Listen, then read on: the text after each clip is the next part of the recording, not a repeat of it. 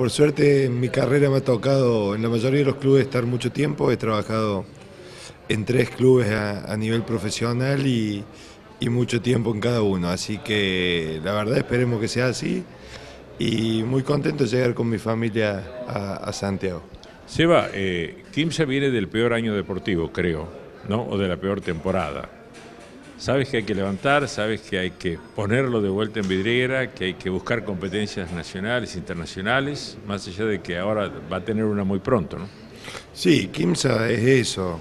Si bien eh, una institución establecida en la liga como uno de los candidatos siempre, en la mayoría, en, menos en dos temporadas, siempre tuvo el 50% para arriba de victorias, o sea, y siempre apunta alto y a mejorar en distintos puntos y distintas eh, logísticas para, para, ser una de las organizaciones mejores del básquet argentino. Así que seguro que, es eh, una de las cosas ponerlo rápido de vuelta arriba y, y competir con los mejores porque es un equipo que siempre apunta a lo más alto. Entonces hay que buscar estar en eso vas a buscar un mix, digamos, con gente que promete y aquellos que ya tienen la experiencia?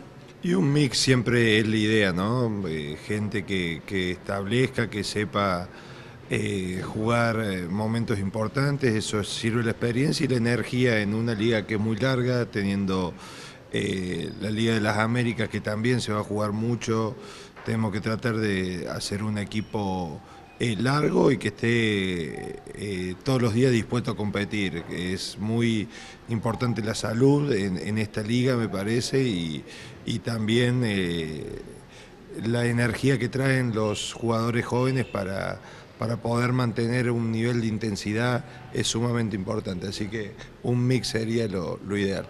Claro, lo, tuviste que aguantar a tus espaldas. Digo a la gente y a la pasión de Santiago Bolívar.